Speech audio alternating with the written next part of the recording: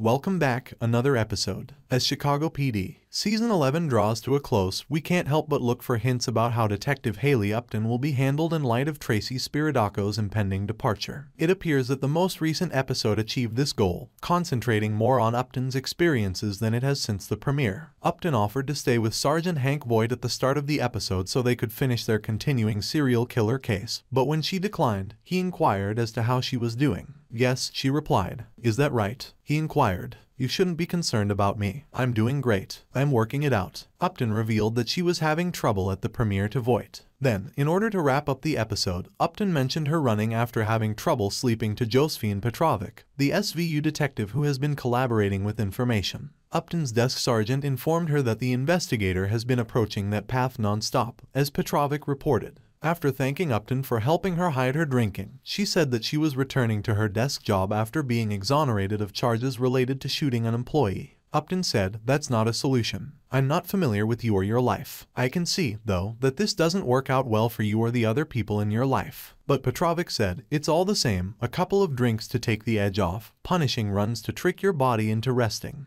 Although Upton went on her run, the episode finished with her halting and remaining still. Does she now realize that Petrovic is correct and that she needs to alter? Given the circumstances in her contemplation of the potential consequences of her current course for both herself and those around her, particularly in light of Voight's recent check-in and the knowledge that Platt is aware of her constant running, which serve as reminders to others that something is amiss, may she conclude that she must leave intelligence and the CPD there's a more sinister chance that Upton stays and things don't end well for her or the others in her life. That is, she gets hurt at work or even dies. Hopefully, Beghe was correct when he said, I assume that she's going to leave on good terms. She won't pass away, in my opinion, or experience anything similar. I really hope not. It is my sincere wish that she will return. That does not, however, preclude Upton from making an error at work that results in her being fired or being forced to decide to leave the CPD. For more, subscribe.